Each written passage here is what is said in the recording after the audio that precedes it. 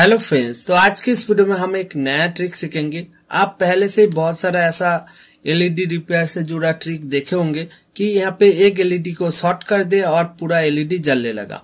तो ऐसा करने से क्या होता है कि यहाँ पे जो वोल्टेज डिफरेंस है, अगर एक एलईडी का वोल्टेज कितना होता है फोर वोल्ट से लेकर ग्यारह वोल्ट तक हो सकता है। तो उस वोल्टेज को अगर आप शॉर्ट कर दोगे, वो दो पिन को अगर शॉर्ट कर दोगे तो उसका जो एलईडी का वोल्टेज है, उस एलईडी जो वोल्टेज ले रहा था, वो शॉर्ट कर दिया मतलब उस वोल्टेज यहाँ पे ज़्यादा हो गया। तो उससे क्या होता है कि जो और जितना भी एलईडी यहाँ पे है, और वो उतना दिन तक नहीं चल पाता, क्योंकि उस एलईडी पर ज़्यादा प्रेशर आता है। तो इसीलिए आज की इस वीडियो में एक ट्रिक दिखाऊँगा, जिससे आपका एलईडी बहुत दिन तक चलेगा और बाकी एलईडी पर प्रेशर नहीं पड़ेगा। तो मैं यहाँ पे क्या कर रहा हूँ, जो एलईडी खराब हो जा रहा है, उस जगह पर आप एक 56 ओम्स का एक रेजिस्टेंस लगाइए।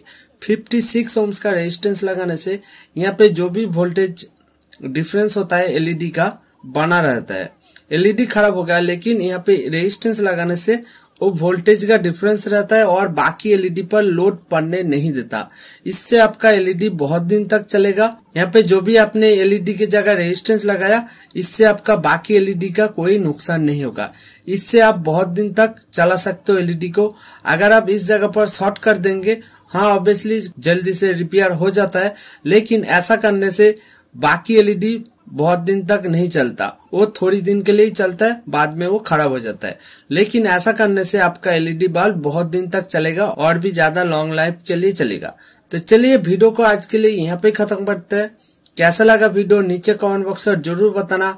और ये ट्रिक आप यूज़ करके आपका एक्सपीरियंस नीचे ज़रूर शेयर करना। तो आज के लिए इतना ही। बाय